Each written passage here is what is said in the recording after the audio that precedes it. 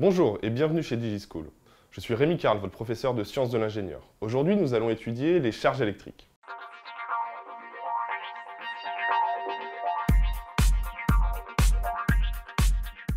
Avant d'aborder les lois fondamentales de l'électricité, nous allons revenir au plus petit élément qui constitue la matière. Ce sont les atomes. Les atomes sont constitués de protons et de neutrons et d'électrons.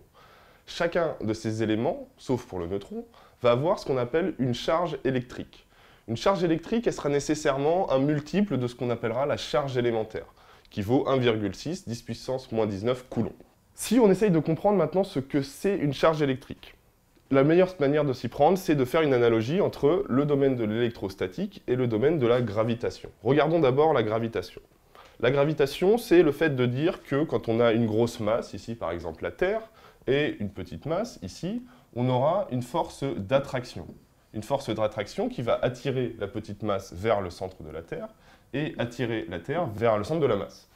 C'est ce principe de gravitation peut se résumer sous la phrase suivante, les masses s'attirent. Et les masses, c'est une grandeur intrinsèque qu'on va venir coller à l'intérieur de chacun de ces éléments.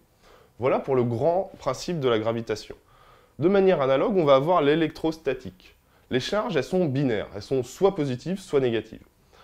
On, va partir des règles suivantes. Deux charges positives se repoussent l'une l'autre. Vous pouvez le visualiser hein, quand vous imaginez mettre deux aimants en face de l'autre et que vous allez voir que les, deux aimants se repoussent. Deux charges négatives se repoussent également. C'est ce qu'on appelle la répulsion électrostatique. Maintenant, deux charges de signe contraire, elles, vont s'attirer. On peut donc résumer le phénomène électrostatique en ces deux phrases. Les charges de signe opposé s'attirent et les charges de même signe se repoussent.